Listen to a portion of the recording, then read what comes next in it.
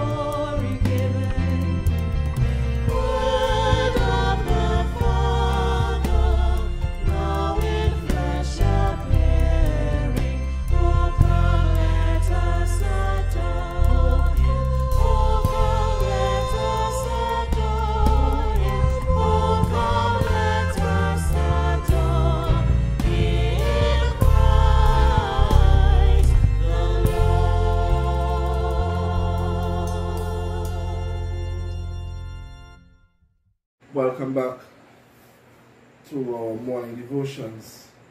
Our service begins today on page 33 in our books of common prayer, the opening sentence for Christmas, and continues on the pages following thereafter. But the angel said to them, Do not be afraid, for see, I am bringing you good news of joy for all the people. To you is born this day in the city of David a Savior, who is the Messiah, the Lord. Page 35. Blessed be the Lord our God, by whose grace we are yet alive. Blessed be his Son, Jesus Christ, by whose rising we are set free. Blessed be the Spirit of God, in whom is our hope and our joy. Together, the prayer of intent. Father, we come together in the name of your Son, Jesus Christ, our Redeemer, to offer you our worship, praise, and thanksgiving. To you belong all power and all glory. You are the source of all goodness. Let our worship be a witness to your peace and saving power through your Spirit may we ever rejoice in the abiding presence of our risen and ascended Lord. Amen. The Jubilate. O shout to the Lord in triumph, all the earth. Serve the Lord with gladness, and come before his face with songs of joy. Know that the Lord, he is God. It is he who has made us, and we are his. We are his people, and the sheep of his pasture. Come into his gates with thanksgiving, and into his courts with praise. Give thanks to him, and bless his holy name. For the Lord is good. His loving mercy is forever, his faithfulness throughout all generations. Glory to the Father, and to the Son, and to the Holy Spirit, as it was in the beginning. It is now, and shall be forever. Amen.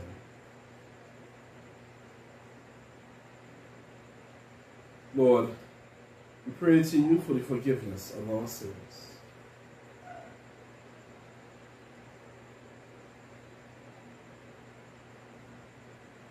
Have mercy upon us, most merciful Father.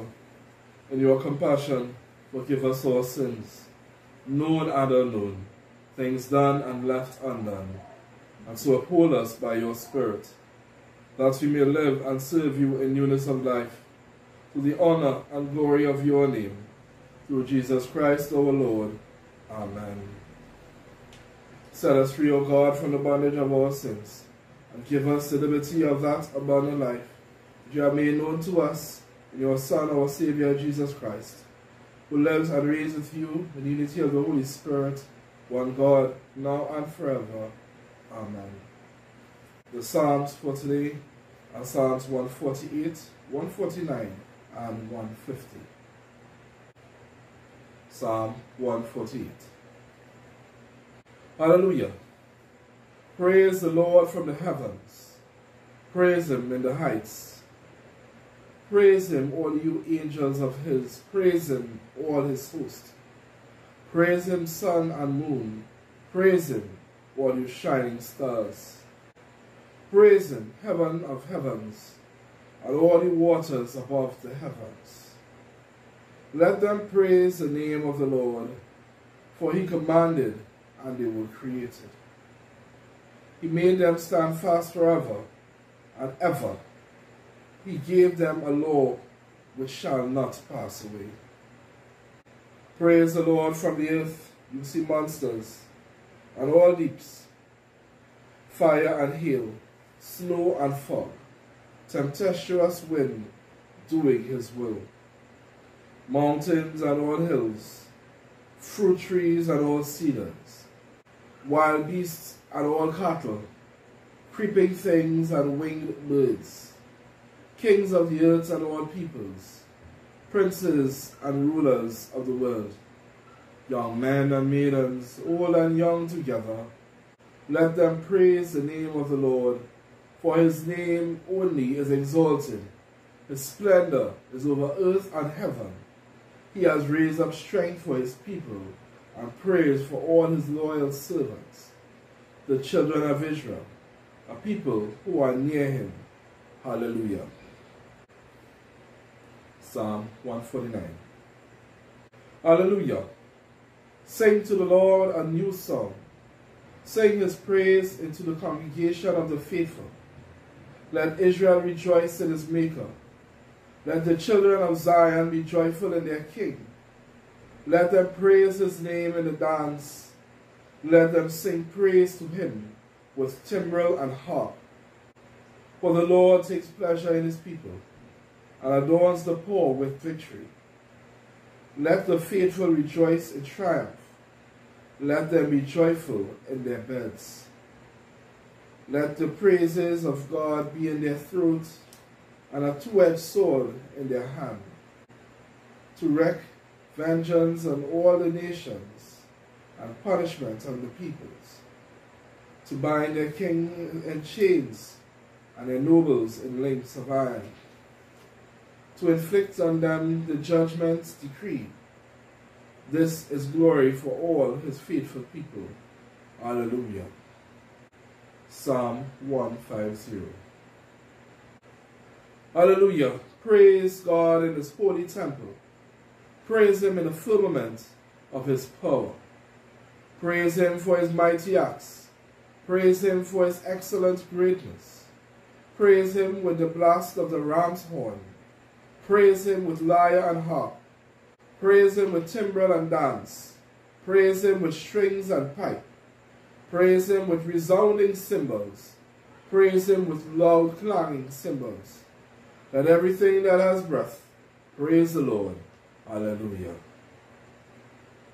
Glory to the Father, to the Son, and to the Holy Spirit, as it was in the beginning, it is now, and shall be forever. Amen. Our first reading will be taken from Isaiah chapter 25, verses 1 to 9. A reading from the Word of God, written in Isaiah chapter 25, verses 1 to 9. O Lord, you are my God. I will exalt you. I will praise your name. For you have done wonderful things, plans formed of old, faithful and sure. For you have made the city a heap, the fortified city a ruin. The palace of aliens is a city no more. It will never be rebuilt. Therefore, strong peoples will glorify you. Cities of rootless nations will fear you. For you have been a refuge to the poor, a refuge to the needy in their distress, a shelter from the rainstorm and a shade from the heat. When the blast of the rootless was like a winter rainstorm, the noise of aliens like heat in a dry place. You subdued the heat with the shade of clouds. The song of the rootless was stilled. On this mountain, the Lord of hosts will make for all peoples a feast of rich food, a feast of well aged wines, of rich food filled with marrow, of well aged wines strained clear. And he will destroy on this mountain the shroud that is cast over all peoples, the sheet that is spread over all nations. He will swallow up death forever. Then the Lord God will wipe away the tears from all faces, and the disgrace of his people he will take away from all the earth, for the Lord has spoken. It will be said on that day, Lo, this is our God. We have waited for him, so that he might save us. This is the Lord from whom we have waited. Let us be glad and rejoice in his salvation. The word of the Lord. Thanks be to God. A reading from the word. Benedictus. Blessed are you, Lord, the God of Israel you have come to your people and set them free.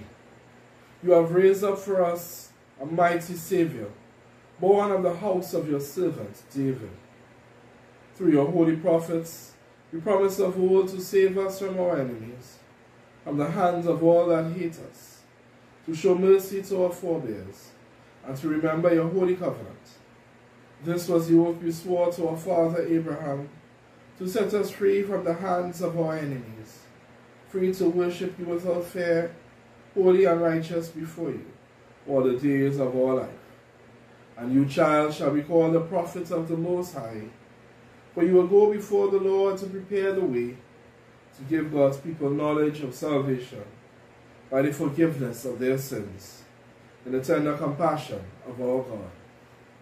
The dawn from on high shall break upon us, to shine upon those who dwell in darkness and the shadow of death and to guide our feet into the way of peace. Glory to the Father, and to the Son, and to the Holy Spirit, as it was in the beginning, it is now, and shall be forever. Amen. Our second reading is taken from Luke chapter 2, verses 41 to 52. Now, every year, his parents went to Jerusalem for the festival of the Passover. And when he was 12 years old, they went up as usual for the festival. When the festival was ended and they started to return, the boy Jesus stayed behind in Jerusalem, but his parents did not know it, assuming that he was in a group of, tra- of travelers. Then they went a day's journey. Then they started to look for him among their relatives and friends. When they did not find him, they returned to Jerusalem to search for him. After three days, they found him in the temple, sitting among the teachers, listening to them, asking questions, and all who heard him were amazed at his understanding and his answers. When his parents saw him, they were astonished. And his mother said to him, Child, why have you treated us like this? Look, your father and I have been searching for you in great anxiety. He said to them, Why were you searching for me? Did you not know that I must be in my father's house? But they did not understand what he said to them. Then he went down with them and came to Nazareth and was obedient to them. His mother treasured all these things in her heart, and Jesus increased in wisdom and in years and in divine and human favor. The word of the Lord. Thanks be to God.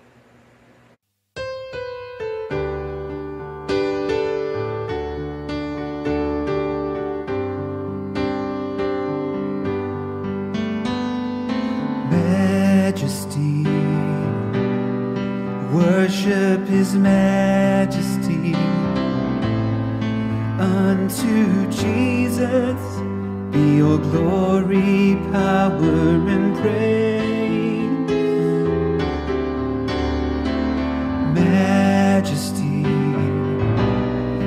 kingdom, authority flow from his throne unto his own, his anthem raise. So exalt, lift up on high the name of Jesus. Magnify, come glorify Christ Jesus the King majesty. Worship his majesty. Jesus who died, now glorified, King of all kings. Majesty. Worship his majesty unto Jesus be all glory, power, and praise.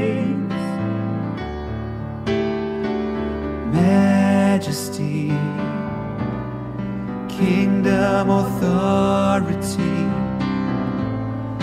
flow from his throne unto his own, his anthem raise. So exalt, lift up on high the name of Jesus. Magnify, glorify Christ Jesus the King. Majesty, worship his majesty. Jesus who died, now glorified, King of all kings.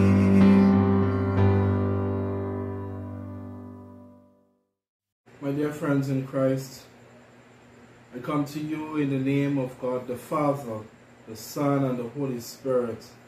Amen. Today, my dear friends, I would like us to chat on the theme from the mouth of babes. Because today's scripture, it really inspires me and reminds me that we can't explore the importance of children in scripture. So today we are going to discuss and explore uh, just a few of the children who appeared in scripture today. Because you see, it's quite important to understand that, as mentioned in Proverbs chapter 22, verse 6, which says, You must start children off in the way they should go, and even when they are old, they will not turn from it. And that is not far from the truth. As a matter of fact, by the time we explore these young persons in Scripture and see the impact that they would have had, that when we see how they started as young and how they where they went on to become significant persons in the history of our faith. First, I would like to discuss David. First Samuel chapter 17, verses 48 and to 51, where they would have spoken about David and Goliath. When the whole army was too afraid to attack the Philistines, David, as a young man, approximately 10 to 15 years old at that point in time, he would have used a slingshot to go and defeat Goliath. A slingshot and a stone. One to the head. And that was it for Goliath. David will go on to become the king, the man in whom the created the lineage for the birth of our Savior, Jesus Christ. David, a man after God's own heart, the author of the Psalms, we would see how important a role he continued to serve. We will continue to see that he himself will become and create a legacy for the pathway of Jesus. Don't you think that's important for a child? To the child to win a war for us? A child to become one of the greatest kings ever recorded in history. A man who was one after God's own heart, David. And we see David because he was faithful and even though he would have had his moments as an adult, his innocence, his love, the fact that God personally chose him to be the successor for Saul as king at that young, tender age. One who was strong, faithful, and handsome. Where his focus was to serve his God. Don't you think that's an amazing trait? You want to know who else is very brave as well? I mentioned in scripture. Daniel. Daniel 1.17 says, it speaks of four men God gave knowledge and understanding and all kinds of literature and learning. Um, these persons here, what kind of wisdom do you think God will give a child? It is said that Daniel was probably eight years old when he stood up to the king and refused to eat the palace food. So some of us may watch our children, and I'm not justifying children not eating, but he wanted to eat healthy, to eat in a manner where he treated his body as a temple. Yes, some people consider it now as a Daniel fast. Plus, or so profound has his influence been. One of the mainstay characters in our scripture today. One of those, once again, who would have created a legacy for our Lord and Savior, Jesus Christ. But dear friends in Christ, we ourselves have to know that these young men answered the call at a very young age and said yes to Jesus. But we're saying that it's only men Jesus called, right? Boys. But I want to show an example of somebody we may know. Yeah, somebody that is a little familiar for you all. Who's very important in this Christmas in the Christmas stories. A young lady who said yes. And her name was Mary. Yes, Mary. She may sound a bit familiar, right? Yes, I'm speaking about Mary, the mother of Jesus. Mary, where she in herself would have been as young as 12 years old when she was chosen. Children at those age when she was young, prepared, engaged to an older person, Joseph, to be married. I know it sounds weird, but it is the case. we see here in Luke chapter 1, beginning at verse 26. Sorry, let's begin at verse 26, where it says, In the sixth month of Elizabeth's pregnancy, God sent the angel Gabriel to Nazareth, a town in Galilee, to a virgin pledged to marry a man named Joseph, the descendant of David. The virgin's name was Mary. And it continues to speak of her innocence she was pure. She was untouched. She was a virgin. And God chose her to be a vessel. And she has grown to become known as the mother of our Christians, the mother of our faith, the mother of our Lord and Savior Jesus Christ, a highly influential woman who continued and served in her life with the beauty of her, our love for her Son, our Lord and Savior, Jesus Christ. God loves our children. Dear friends, we cannot escape the, the, the importance of the roles of children in our scripture. We cannot escape the importance of shaping the lives of our children in our churches and in our homes and in our societies.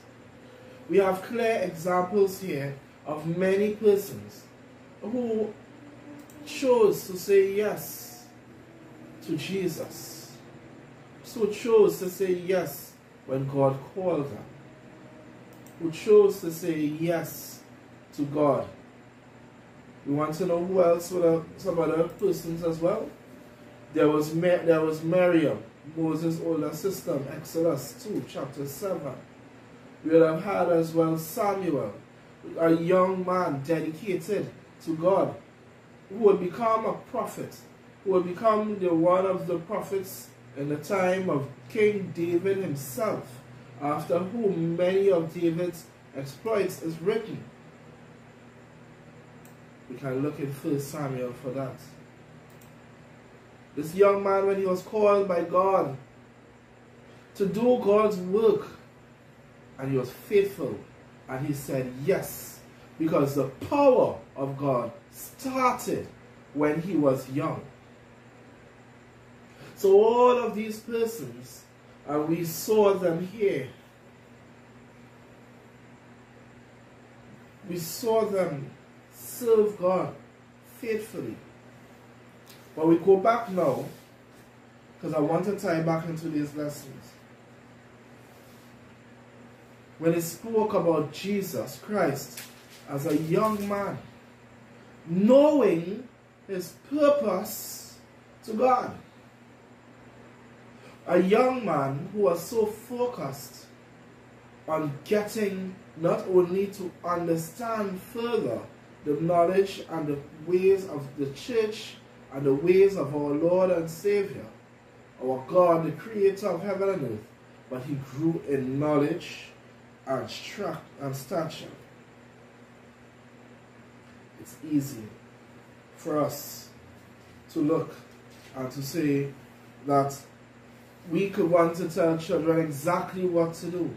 We want to tell children exactly how to behave. We want to tell children exactly how to think. But what we have to do, and I, as we mentioned it earlier, raise them up into the way of the Lord. And when they are older, we continue to be there for them as support systems, but we allow them to answer the call for themselves so that God can take control of their lives and shape their lives accordingly. The children are willing, caring, selfless. You want to know why? Well, let me give you one more example of that selflessness. The boy with the five fish and the two loaves. Yes, that little boy who ended up, that contribution led to the feeding of 5,000. We, we have to understand and open our minds to the endless possibilities that our children can make. And it is in making these decisions, it is in making these, these opportunities for them. We ourselves have to create the opportunity for them so that they can truly and honestly become children of God. And they can take their lives and shape the world properly. But you see, the problem we have, we focus on everything else, but we have a problem when it comes to the church.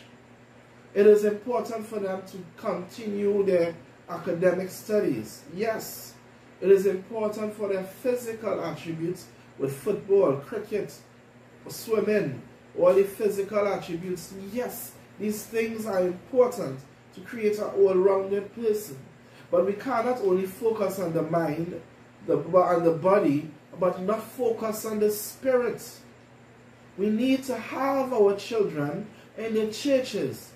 More importantly, we need to train them at home to understand the Word of God from a young and tender age so that when they grow up and they become parents for themselves, they will understand the importance of Scripture, they will understand the importance of the presence of God in their lives, and they will understand that God does not create bullies, God does not create bullies, God does not create people who are not going to serve a good purpose, but rather that God gave us the choice to do right and wrong.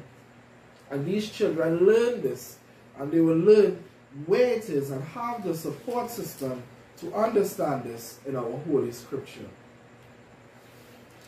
Friends in Christ, do not let God down.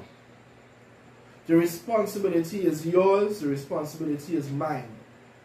The responsibility is all of ours so that we can shape them so that they can make meaningful contributions in our society. Let us serve God with gladness and truth. Let us serve God and remember the importance of the role of children in every single thing that we do. They are not too young. Let us teach them how to learn about God and to experience God's love firsthand. The Lord be with you.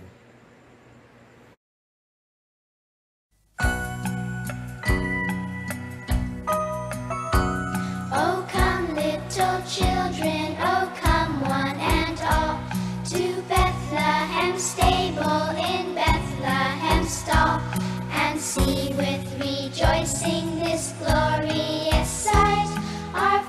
there lies the Christ child.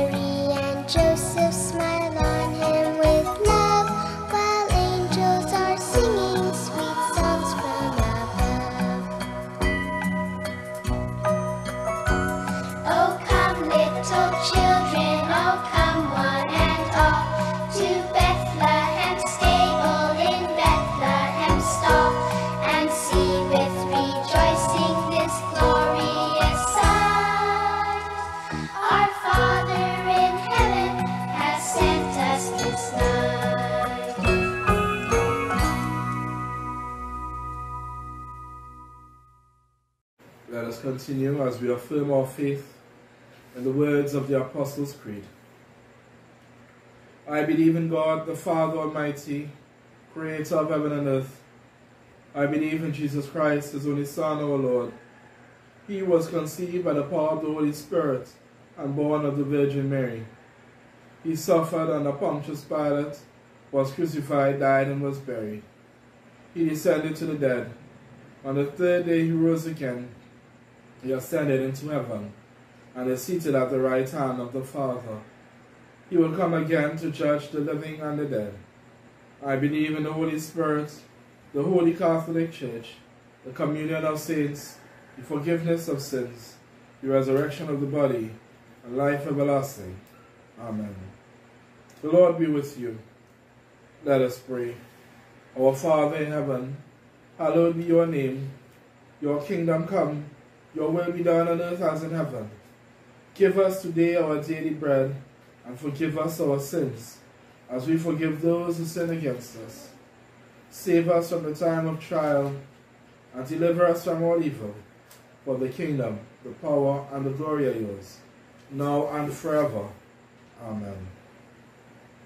We remember in our intercessory prayers the Most Reverend Howard Gregory, the Archbishop in the province and the Church of the West Indies. We pray as well for our Bishop, the Right Reverend Claude Berkley, Diocesan Bishop of Trinidad and Tobago. We remember all retired bishops at this time, the, the Right Reverends Calvin, Clive, and Rawle, retired bishops. We particularly pray for at this time the Reverend Dr. Anderson Maxwell, parish priest of St. Mary's in Tacarigua. We pray for all members of clergy who support him. Lord, in your mercy, hear our prayer. Show us your mercy, O Lord, and grant us your salvation. We pray, dear God, that you clothe your ministers with righteousness and let your people sing with joy. Give peace, O Lord, in all the world, for only in you can we live in safety. Lord, keep this nation under your care and guide us in the way of justice and truth. Let your way be known upon earth, your saving health among all nations. Let not the needy, O Lord, be forgotten, nor the hope of the poor be taken away.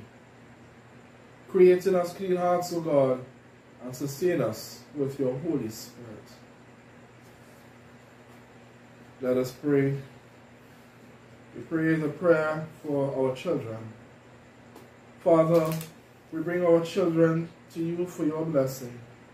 Help us to be sensitive to their needs. Give us wisdom in our care of them, that they may grow up rooted in love, steadfast in faith, strong and courageous in life. Guide us and all of who live, who have the care of children. May we never hinder, but help and encourage them towards independence and maturity, and to have a faith in your Son, Jesus Christ our Lord. Amen. Prayer for young persons. God our Father, we pray for young people growing up in an unstable and confusing world. Show them that your ways give more meaning to life than the ways of the world, and that following you is better than after chasing after selfish goals. Help them to take failure not as a measure of their worth, but as a chance for a new start. Give them strength to hold their faith in you and to keep alive their joy in your creation. Through Jesus Christ our Lord. Amen.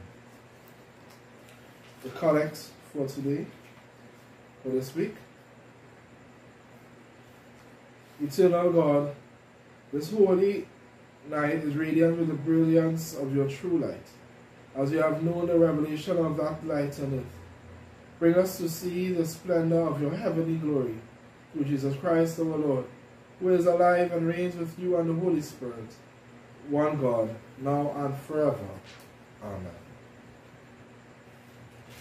I would like, before we say the prayer of dedication, to send out some birthday greetings. I would like to say, firstly, happy belated birthday to my Aunt Wilma in Canada. Her birthday was the 1st of December, I believe. So happy belated birthday to you, Auntie. I, and God's richest blessings to you. I'd like to say happy birthday to some Christmas babies, to Christine Jacob, to Matthew Noel Bowen, and to Carol Oliver Hen. Happy birthday, belated birthday to you all. I'd like to say happy belated birthday as well, whose birthday was yesterday, to Christine Lucas, to Grace Pamela Brizan, and to James Scipio. Happy belated birthday to you all. We have one birthday today, that is Danielle Unegbu. Happy birthday to you. Tomorrow, please God, we have Winfred Ramsey. Happy Winfield Ramsey, sorry. Happy birthday to you. On the 29th, we have Kimberly Douglas. We have Marie Charles. We have Iwan, Iwan Nelson, and Aggie Phipps celebrating their birthdays on the 29th. On the 30th, we have Alana Tate Clark celebrating her birthday. On the 31st, we have Marlon Ashby Bowen, Shelly Ann Jacob, Tenica John, Matthew Terrell Hernandez, and I'd like to also send happy birthday greetings to my aunt Vanessa Haynes, who will also be celebrating her birthday on that day. Happy birthday to you all. I'd like to say special wedding anniversary greetings to the Reverend Presbyter Daniel Pontifet Andre and her husband Dominic Andre, who celebrated their anniversaries yesterday. I'd also like to say happy anniversary to Siobhan Stephen Hayes and Troy Hayes. Siobhan Stephen Hayes and Troy Hayes, who also celebrated their birthdays yesterday. Happy anniversary to you both. We like to remember the family of Oscar Morris, who commemorates the first anniversary of his death on the 26th of December. We also like to remember our dear sister, Claire Stout, whose anniversary of death is the 31st of December. May they rest in peace and rise in glory. The prayer of dedication. Almighty God, we thank you for the gift of your holy word. May it be a lantern to our feet, a light to our paths, and a strength to our lives. Take us and use us to love and serve all persons in the power of the Holy Spirit, and in the name of your Son, Jesus Christ, our Lord. Amen. May the God of hope fill us all with joy and peace in believing through the power of the Holy Spirit. Amen. The Lord be with you. Let us bless the Lord. Thanks be to God. Have a blessed week, my dear friends in Christ. In Jesus' name, amen.